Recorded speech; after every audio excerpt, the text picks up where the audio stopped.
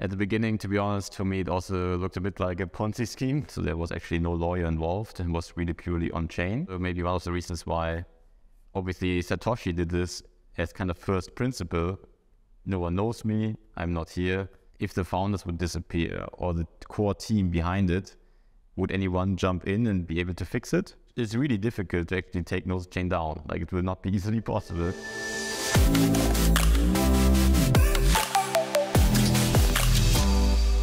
Hi, Stefan. So today we have Gnosis Chain, so the third most decentralized uh, chain in the world after Bitcoin and Ethereum. Almost 300 million uh, dollars in uh, market cap, correct? And almost 1 billion at the top when it was uh, in 2021. So tell me about yourself a little bit. Um, I know that you entered the blockchain space like right away, like you just started your career like right away from the blockchain space. So tell me why blockchain? How has it happened? And a uh, little bit of your own background. Yeah, yeah. Thanks for having me, Violetta.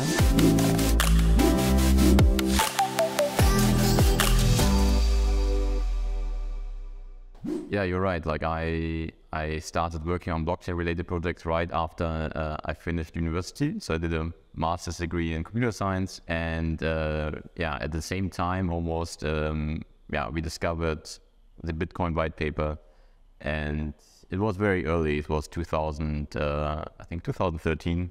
So at that time there was hardly any adoption of, of Bitcoin, obviously, and there was very few applications taking advantage of it. And uh, given that we had a computer science background, we knew how to develop applications, and we were thinking about how we could, yeah, build applications that can give Bitcoin more utility. Because obviously Bitcoin itself only allows you to send Bitcoin from one address to another, so it's nothing really sophisticated. And so, yeah, we were thinking about applications, start building the first applications um, while we were still uh, finishing our master's degree, me and Martin, my co-founder. And um, so, yeah, was we, we kind of saw the potential of Bitcoin.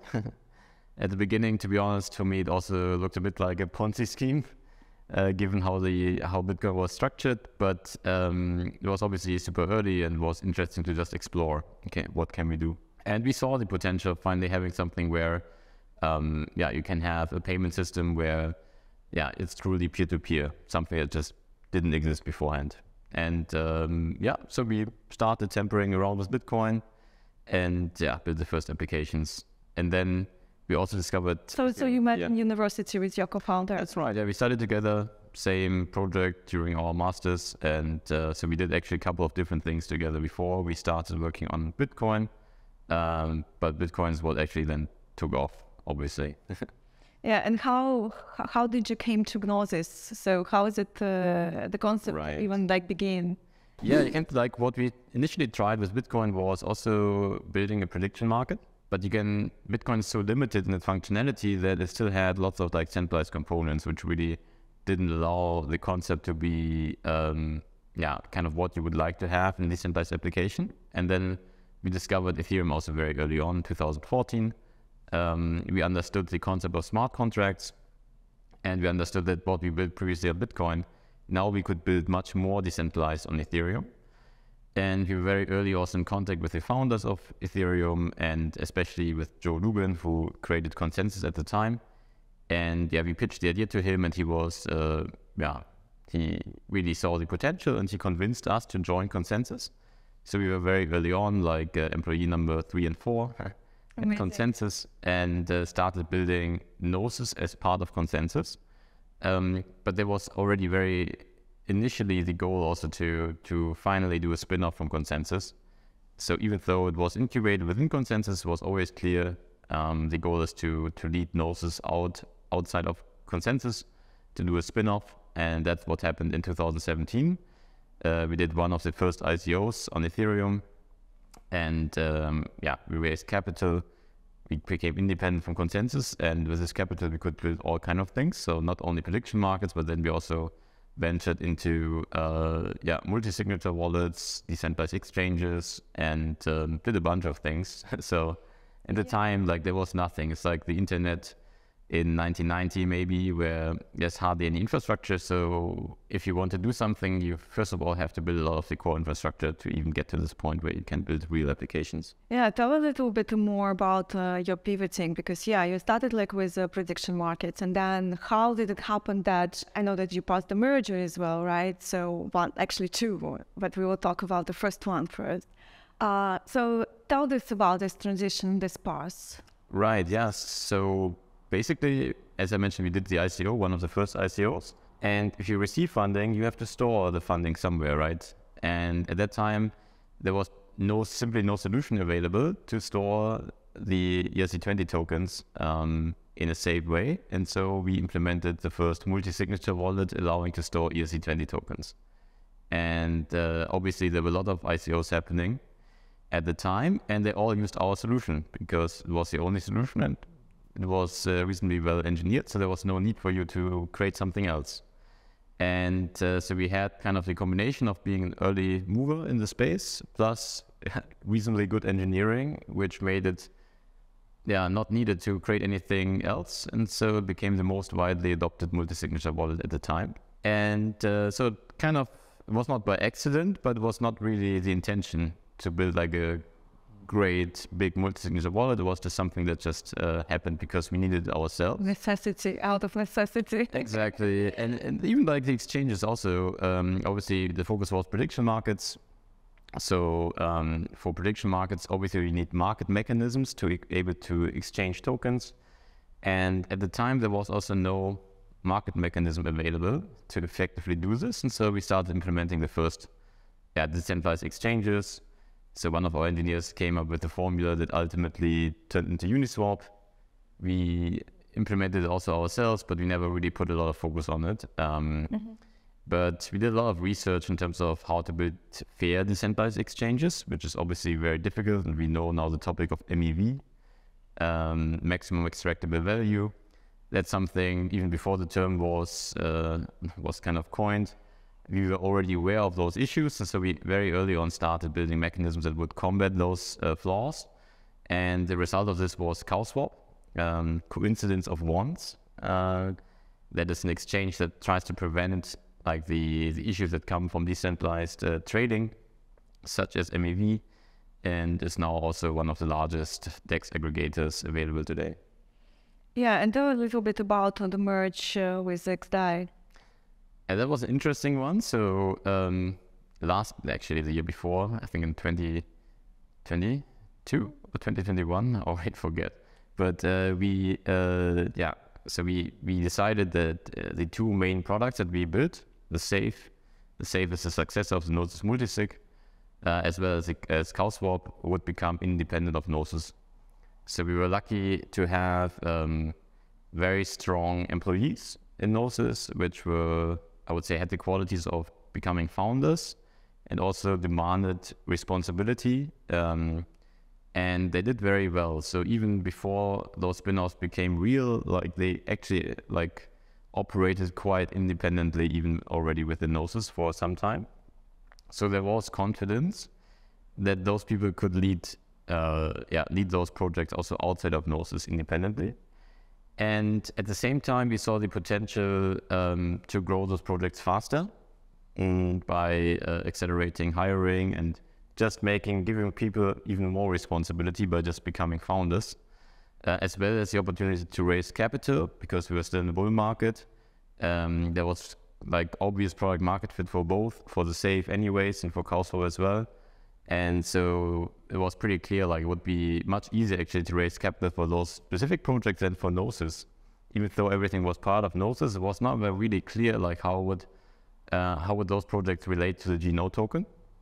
And so it was more straightforward to actually make some spin-offs, let them issue their own token, raise their own capital, and then give part of the tokens um, of those projects back to GNO token holders uh, mm-hmm. by giving them to Gnosis DAO. And that's what happened. So then obviously the question is like, what does Gnosis actually do? Right? Like basically everyone left the company uh, and there's only a core team, um, core team left. At the same time, obviously we have been building a lot of infrastructure. We have been building a lot of dApps actually. And uh, we also already at that time, um, we were operating or like implementing the second largest Ethereum client, Open Ethereum, which we eventually discontinued, but at the time it was. Um, and so we had lots of expertise in both core development, but also application development. And uh, yeah, so we saw the potential to even run our own network. And uh, even before the merge with XDAI happened, like a year earlier, we were looking at different solutions to scale our applications because it was already becoming obvious to us that Ethereum fees would skyrocket and would be impossible to run most of the applications on Ethereum. So we looked for cheaper alternatives. And we talked to everyone like Optimism, Polygon, at that time was still called Matic, and uh, and others.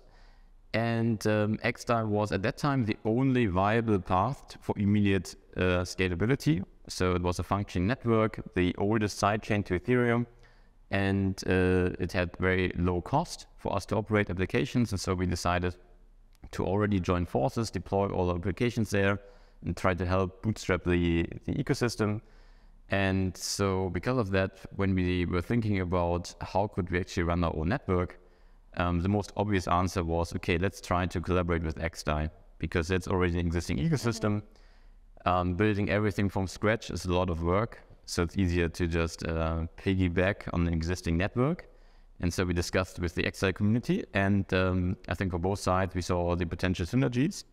And so, yeah, we we effectively ultimately did an offer to both DAOs, to the Gnosis DAO, but also the stake token holders, uh, to do a merge of tokens. Um, so there was actually no lawyer involved and was really purely on chain, where uh, stake token holders, a token of XDAI, could be swapped at a fixed rate to GNO tokens.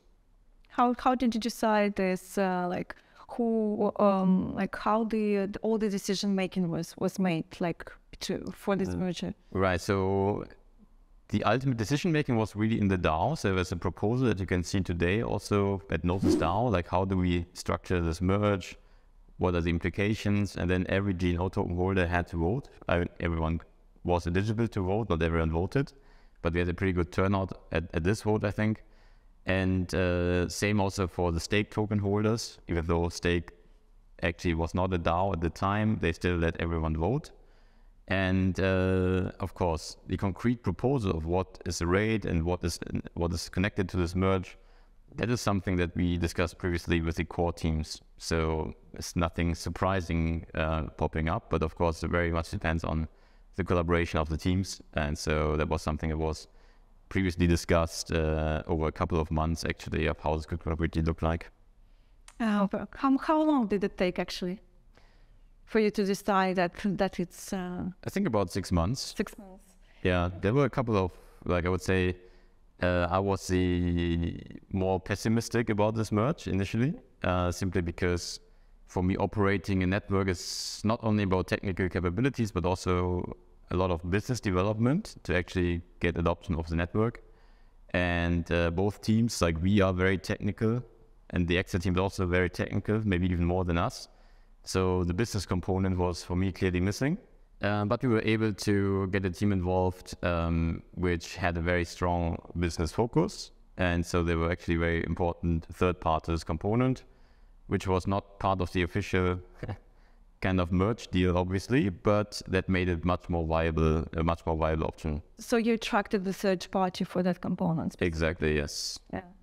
And just a little bit back about the ICO. I mean, like that was one of the first ICOs, like uh, right, that was done. So, how was it like uh, difficult? Because I believe there have been challenges. Yeah, I mean, for for us, most challenges were actually more on the legal side. So that's also what what kind of delayed everything. So I think we would have done the ICO probably a year earlier um, if we would have not cared about legal. uh, but we cared a lot about legal and we tried to have really like super solid setup. And uh, we even got a no action letter by the uh, Gibraltar government at the time that we are able and allowed to do this ICO in their country. And uh, meanwhile, waiting for all these approvals, we also came up with new mechanisms of how to conduct the ICO. So there were many different ways of how you can possibly sell a token, right? And uh, we came up with a system called Dutch auction. I mean, Dutch auction is just a type of auction where It's called Dutch because that's how they Yeah. were selling tulips. I think like you start at a very high price, the price goes down over time, um, and so we applied this also for Gnosis. And well, at the time we created so or like there was so much FOMO um, that eventually the Dutch auction ended after I think a couple of minutes time. So basically, it closed at the highest possible price. Uh, and this was, of course, for us a great outcome. So we were able to raise a lot of funds in return for very little uh, percentage of the total token.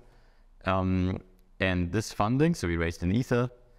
Um, at the time, Ether was trading at fifty dollars. We raised twelve point five million uh, dollars worth of Ether, and we were very bullish on the ecosystem. So we kind of saw the success of Gnosis being strongly connected to the success of Ethereum itself. And that's why um, we actually kept everything in Ether.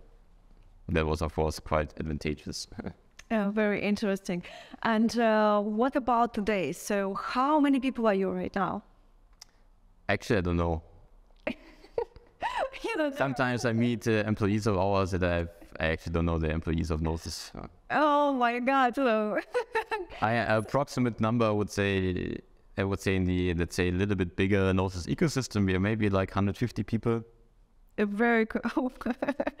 well, I But that's how you know it's pretty decentralized at this point. So I- I'm pretty sure I know like a lot of people not who are actually working for Gnosis to some extent. Yeah. Yeah. Okay. That's uh, that's very interesting. And how the team right now like is structured? So what is like like what is Gnosis today? So how is it like in terms of like company? Like um, how is it structured? How is it like? I know there is like DAO. I mean, not a Right. company like organization. I would say right. Like there is DAO. How how is it like structured? How is the the teams works together? So yeah, so we were at the time when the spin-offs happened, also Gnosis transitioned more into Gnosis DAO. So a lot of the assets previously held by a company were transferred to the DAO itself. Um, and also with the spin-offs, a lot of people left the Gnosis Limited company. And actually, for me personally, it was also important that we don't grow again to like this large size organization we were before, which is difficult to manage, but rather have smaller teams that can jointly work together to like one common goal that's defined by Gnosis DAO. And that's how we structured it. So the first task of Gnosis DAO is to onboard core teams uh, that are all jointly working together to make Gnosis DAO successful, but they act at, with a high degree of independence. Um, and yeah, now we have about five, six teams. Um, they all got larger grants by Gnosis DAO to work on Gnosis DAO related topics. Uh, some of them are very technical. So, for example, the Nethermind team is a client team. Um, they're working on building the number one uh, Gnosis chain client. They got a grant. The Aragon team as well. Um, then we have like an infrastructure operator also got a grant. And then, of course, we have on the BD side the team that I mentioned before, the business development arm. They got a, sizable uh, investment as well. And then um, we also have a treasury management unit. And so there's a couple of um, of different independent organizations. Gnosis Limited itself, of course, is also still involved, but we are really much, very much focused on on the absolute core development, kind of co- I would say rather trying to coordinate between some of those units. Um, but of course, a lot of it is also directly done via Gnosis DAO. So there's a forum where anyone can make proposal, and then uh, everyone with GNO tokens can vote on those proposals. And uh, but yeah, we try to kind of keep the number of proposals rather low, um, to because it requires a lot of attention. And uh, so there's few proposals to onboard those core units or like get strategic partners involved. Um, but for everything else, we try to not bother GNO token holders too much. Uh, so it's really more like strategic decisions that we try to um, to actually do via the DAO. Are you still involved in research? Uh, a lot, like as part of, of building Gnosis Chain, we also do a lot of research. So especially in the fields that we were also involved in before, like account abstraction, but also uh, the topic of MEV. So um, how can we, kind of generally, how can we build a better, um, credibly neutral environment for everyone to operate, for dev developers, but also the users. And uh, so for us, the reason why we started working on Ethereum is because we truly also believe in the values of Ethereum, building better decentralized uh, technology. And that obviously is still an uphill battle. Like if you look at the networks today, hardly any of them are actually decentralized. And uh, if it's not decentralized, then kind of defeats the purpose for me to be even on blockchain in the first place. And so we lot we invest a lot in research of how to make systems more resilient, more decentralized, more scalable. Uh, do you work together with uh, with the Ethereum team on that? Yes, actually, I think Gnosis is the company with the biggest overlap in core development with Ethereum because we work on this exactly same stack. So there's no other network that runs on exactly the same stack. There are a lot of networks which are adopting the EVM, right? Pretty much everyone does because there's strong network effect around the EVM. But in terms of running actually like the Ethereum software, there's only Gnosis being the yeah only other like large scale network that actually runs on the same stack. So we have our own beacon chain. So also we had to do this merge that you mentioned before. Um, so and that is the only technology that allows really a high degree of decentralization. So if you look at Ethereum right now has about 500,000 validators that are run by I think 10 or 11,000 node operators. And uh, that doesn't come like no other network can compete on this level. Like Solana has maybe a thousand validators, but run maybe by 10 entities. Uh, BNB Smart Chain is de facto one entity running everything. So uh, Polygon is also, I guess, I couldn't even dare to say, but uh, it's definitely a lot less decentralized compared to Ethereum. And because we run on the same technology, we can also have a high degree of validators. Right? We have on Gnosis chain today, we have about 120,000 validators, um, which are run by over 1,500 different uh, node operators. And yeah, that's pretty amazing. So there's no other network uh, that can get to this level. That's why I'm quite confident to say, okay, Gnosis is actually already the third most decentralized network. Yeah, I think you kind of like already answered to my other question that is uh, regarding how uniquely you're positioned actually on the market. But can you tell a little bit more from the point of maybe uh, projects or like developers who wants to build or like ordinary when people like how like what is like unique about Gnosis? Right. So I think there's of course there are many different types of developers. Um, so what Gnosis, so basically every every blockchain has to make trade-offs. This is trilemma that I think was coined by Vitalik. So you have can be decentralized, you can be uh, have security, and you have, can have scalability, and you can never have all three of them. You always have to make compromises, and pretty much all the other networks, the Ethereum killers, or um, yeah, they they kind of focus very much on scalability because they they saw that Ethereum falls short, and uh, so they kind of disregarded security and decentralization. That's why they have so little validators, and their system are designed in a way that they cannot even have more validators. um, and so we are very much focused on scalability. So for Gnosis, we are more like Ethereum. You can think of of Gnosis kind of replicating what Ethereum does, um, because we see there's high demand for Ethereum. Right today, if you look at what blockchains are actually fully utilized, there are very few. Actually, I think there are only two.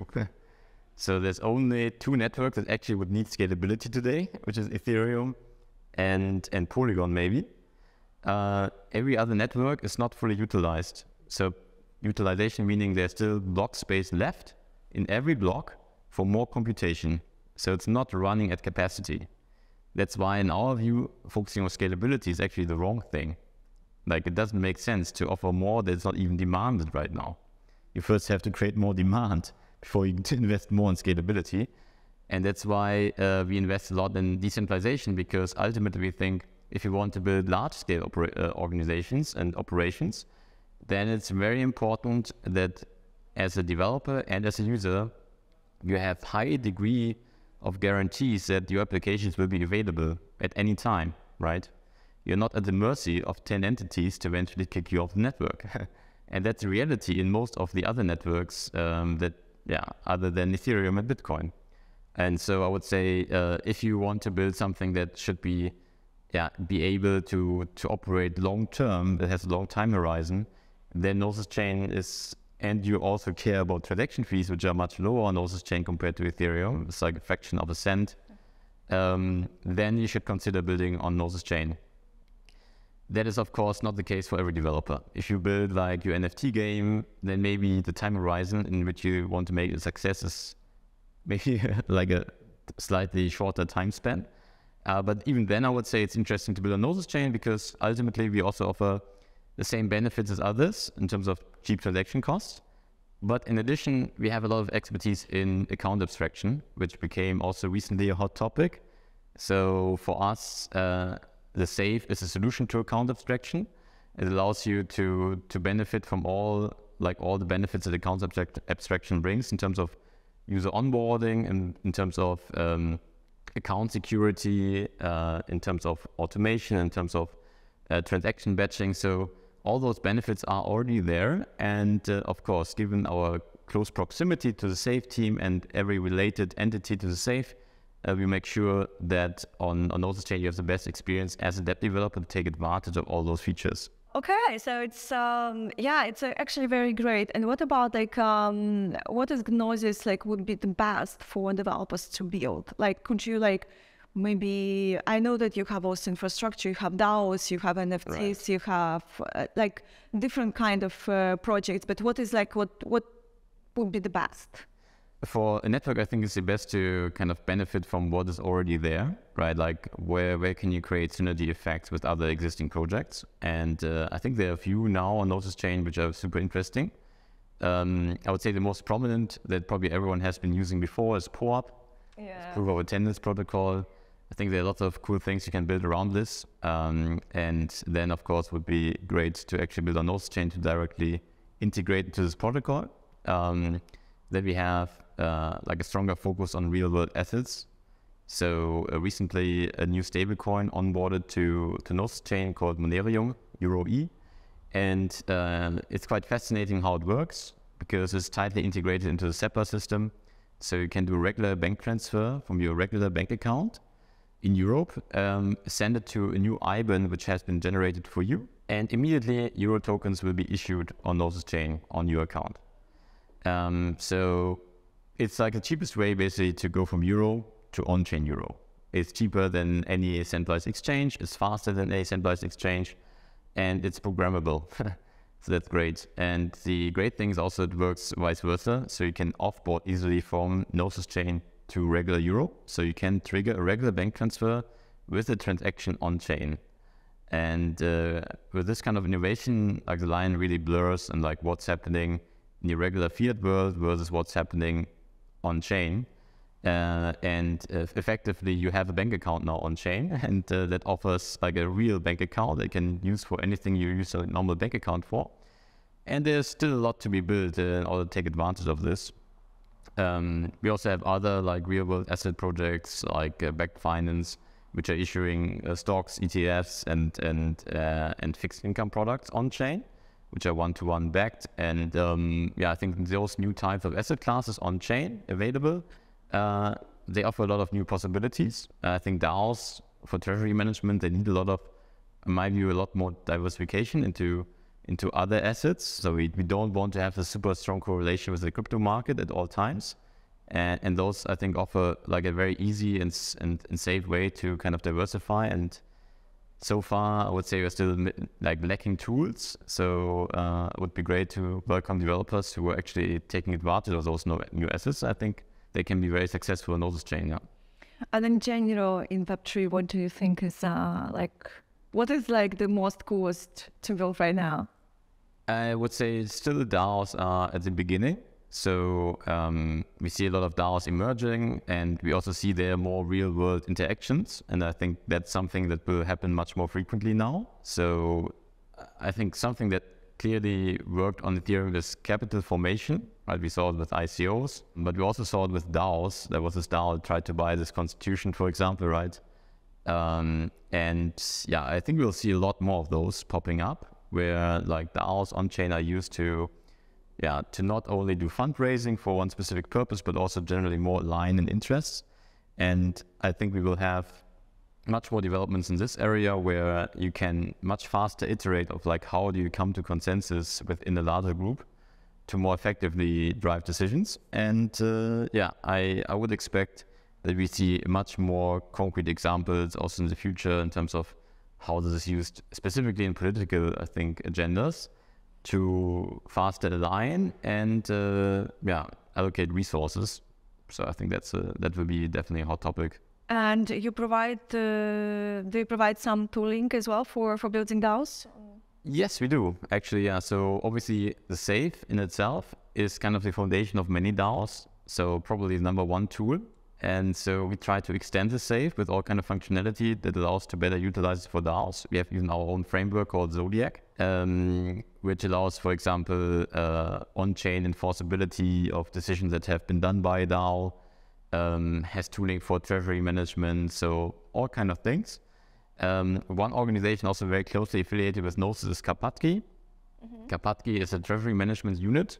They started, actually kind of, they're not really a spin-off of Gnosis, but uh, like the founder used to work at Gnosis and then he started like uh, managing the treasury of Gnosis DAO, then became its own team. Uh, and now they're not only managing Gnosis DAO, but also ENS DAO, Balancer DAO, and a few others. So it's already a pretty large organization and they do everything around safe contracts.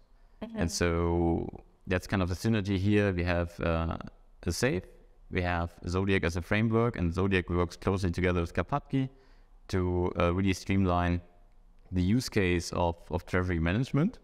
So hopefully uh, this will help many other DAOs as well in order to to more effectively do those operations. Yeah. So if I'm a project that wants to launch as a DAO, right? Yeah. Where should I go? Like for example, I, I want I want to go with you. So what, what should I do like as a first? Like what steps? Good question. So um, I would highly encourage to also directly get in contact with us. So we have the forum, we have Discord, and we have like a Telegram group for for everyone who operates on Gnosis chain. And for Zodiac, we also have our own Discord uh, to directly guide DAO builders in terms of how they can take advantage of what we have been building. And yeah, I would say those are probably the best channels to get directly in touch with us. And uh, do you actually provide any kind of support in terms of like governance? Because well, you have a lot of experience with Gnosis now. Do you? Um, so what many projects try to do is receive, for example, grants funding or eventually investment funding. Um, yeah. This is now covered by Gnosis Builders. So Gnosis Builders is another core unit of Gnosis that tries to directly support builders on Gnosis chain. Um, and so they have a grants program that you can easily apply via a form. Uh, what are the grants? Uh, so it really, so generally, as a rule of thumb, like we support open source public goods projects with grants on Gnosis chain. So if you build something where you don't have to intent, intention to launch a token anytime soon, uh, that we are, and it's something where we clearly see a benefit for people on Gnosis chain, then we're happy to support it. Um, if you actually have the intention to make it commercial, then we can also talk because we also have an investment arm which also can invest into projects. So that would be the other direction. Uh, in any case, happy to talk. Yeah. And regarding the DAO, the Gnosis DAO, so how is like really the decision making is done? How is the community is engaged? I mean, like once you go to your website, there is like community run chain Right. This is like your main, I guess, right now goal, right? To make this like the most right. decentralization, right? As I saw from your previous talks as well, that you talk a lot about that. So tell a little bit more about the details, like how is it like run? What kind of lessons maybe we can learn from you? Yeah, yeah. So uh, in terms of community run chain, we mean it quite literally. So um, we want a lot of individuals to run nodes at home um, to participate in validating Gnosis chain. And a lot of them do this already. So we, again, we have about 1,500 nodes operating, uh, out of which a majority, I think, is run by individuals at home or somewhere. uh, and that sense is a community-run chain. Um, it's not a, a, chain run by very few staking providers. uh, and that's very important to us because then it becomes super resilient, right? Like if you it's it's really difficult to actually take Gnosis chain down. Like it will not be easily possible. Um, and in terms of governance, I would say there's still also a lot to that a lot that we have to learn ourselves. To be honest, like uh, I think we um, it is always or it has been always a challenge, and for all DAOs today, even I think there's not a single DAO where you have more than 10% of the token holders or like token actually being used for voting probably less, a lot less than 10% of the token holders actually vote. probably more like 2%. So it's generally the problem of like how do you uh, yeah how do you get the how do you get the attention of token holders to vote yeah um, and so far the only system we have is yeah you can delegate your vote to someone else and this person hopefully votes but most of them also don't and to be honest we haven't solved this problem yet mm-hmm. so um, for Gnosis DAO it's pretty similar voter turnout as for other DAOs and I think the problem is um, that you don't have like uh, let's say token holders that are large token holders are usually also large token holders somewhere else. mm-hmm. So there's very few, uh, like for you yourself, in order to really participate in voting uh, and really care about the underlyings of the DAO, your personal stake into in this project has to be significant for your overall net worth, right? If I have one percent here, one percent there, then ultimately I will probably not care about any of them enough to really get engaged. And uh, generally, I would say there are very few where you reach a threshold where people actually really care. And uh, so, on the other hand, you have a lot of people who care but don't have tokens. and so, I, I think that's something you have to balance better. And um, yeah, I mean, many DAOs try to have this delegation process where, uh, like you said, like you promote delegates almost like politicians, mm-hmm. and they will uh, receive like um, yeah, token like they can vote with tokens on behalf of others. Uh, that's something that in general Gnosis DAO also supports, but we never had this process of kind of fostering this politics within Gnosis DAO. Um, that's something we, I think, should do or we should evaluate. Like, how do we do this best? Um, but I would say generally it's still like an open discussion. Like the, I would say the problem is most people buy tokens not because they want to get involved in governance, right? They only buy tokens because they honestly they hope that there will be potentially an upside in buying this token and holding the token, eventually selling the token. Yeah. And yeah, I don't know. Like this, this I don't have a clear answer to this, unfortunately. Uh, yeah, but there is already some some practices, as you mentioned, right? So yeah. uh, that's very interesting to learn because I guess uh, we will see much more of uh, DAOs in the future because the the regulation becomes more and more favorable, right, regarding that. So, but where do you see like DAO is uh, more appropriate? Like, what kind of like um, use cases you would say like? Yeah. that is would be also like considering that people would be involved in that kind of decisions. Yeah it's also a good question. So i think someone promoted i think jesse walden uh, promoted this concept of progressive decentralization. And i think that's also very important for every uh, yeah for every entrepreneur.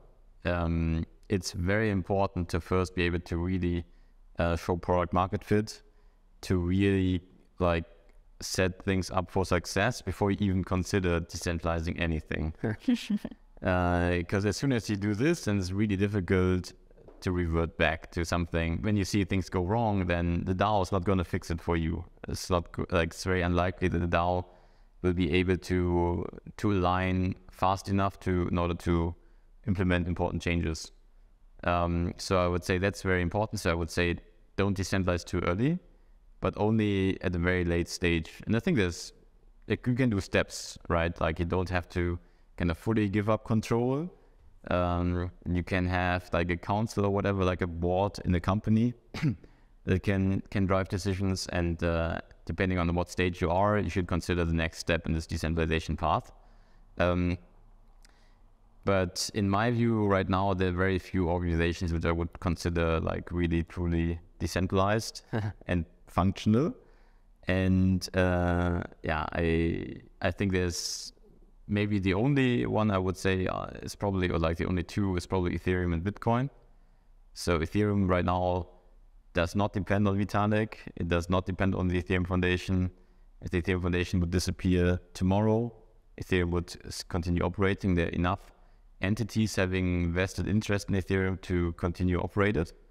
Um, but I would say this is not really the case yet for any of the projects running on top. Um, or maybe there's a few which would also uh, still be maintained. Um, but for most, it's still, I would say, they're still on the path towards decentralization. It's not fully decentralized yet.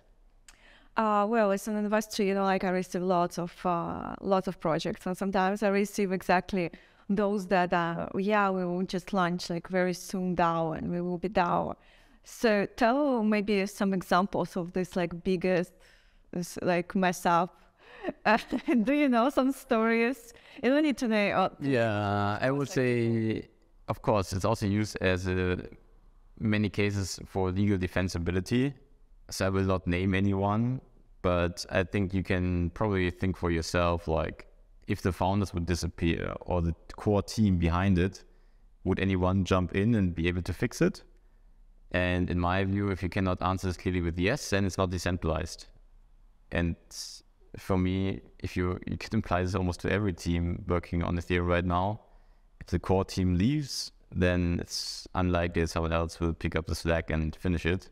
So yeah, I would say there would be many. I would say it's also fine. Obviously, it's it's a journey, and also for Ethereum, it took a long time to get to the stage. I would say, and it's also I would say many of the projects are also too founder driven or too much associated to one or two people, and it's also of course a challenge. You have to really purposefully kind of step back and let others take over. Um, Vitalik also is trying to do this. Of course, I would say generally how people think, like they always like to associate projects with very few people because it's just easier to understand and easier to follow. In reality, uh, that's also what kind of then still drives to the centralization, I think.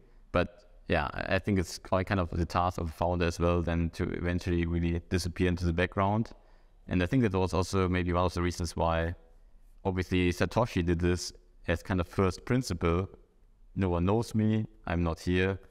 And I think that's also why Bitcoin could become so successful because there was not this one point of, uh, let's say, centralization around uh, one person. Um, and I think Vitalik tries to do the same. So he tries also to be a lot less involved. I think the public perception is that he is much more involved than he actually is.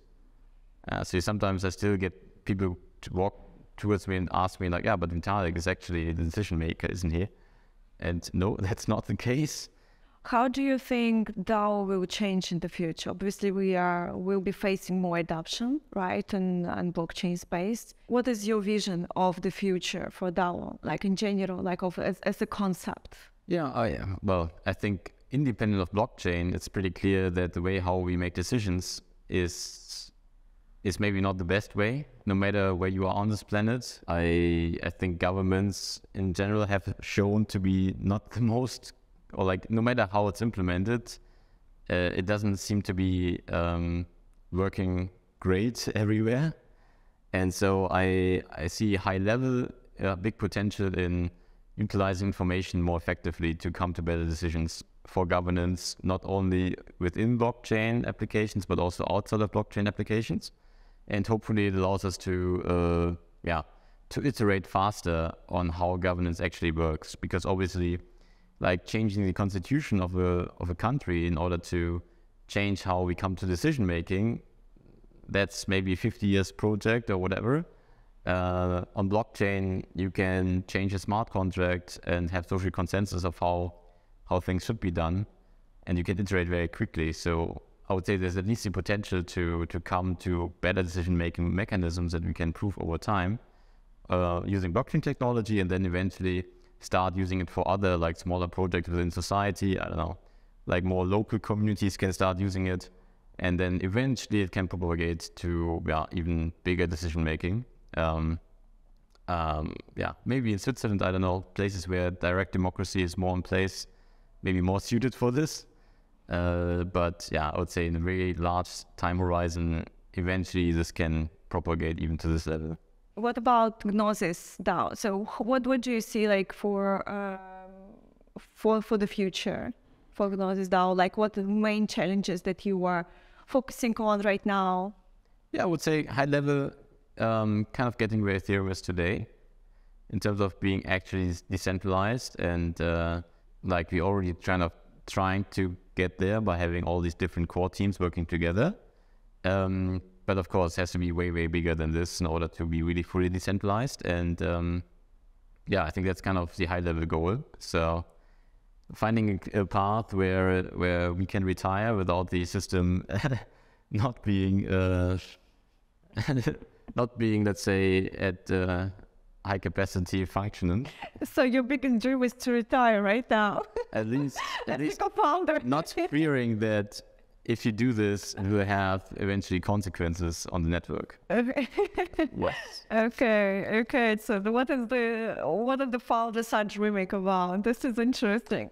So, and of course, I will never retire, but there has to be a part where uh, at least it's clear that um, things can all move on. And of course, if nothing would happen, if I would actually kind of not be be there right now, uh, but I would still see potential impacts which should not be there. So, um, and again, ultimately, it's it's not.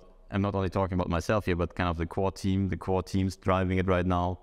Uh, if you want to be really, um, yeah, really long term decentralized, and it's also about how do you how do you create real sustainability, right? Like how how do you how are you able to fund actually all those different initiatives that are needed to make it operational? And that's a, a long way to go for all projects in the space, to be honest. about uh, other cases. So what what would you say? Like the last worst. What's Yeah, I would say um, there are a lot of like real world um, problems that, like for example, um, kind of what also original vision of Ethereum was like, how do we make financial services more accessible to everyone? And that's a major issue in most countries actually. Like, how do you actually get a bank account, right? Like, how do you how do you create like an inclusive system? And those problems are hard to solve. Um, at this point, I would say the number one blocker is not technology. It's on the other side, more um, creating better user experience and also uh, talking to regulators to make those actually viable options. And yeah, if you are able to contribute to, to any of those problems, then I think you will be successful. cool? Well, thank you so much. It was a very big pleasure uh, to have a talk with you. And uh, yeah, so see you soon. Right. Thanks for having me.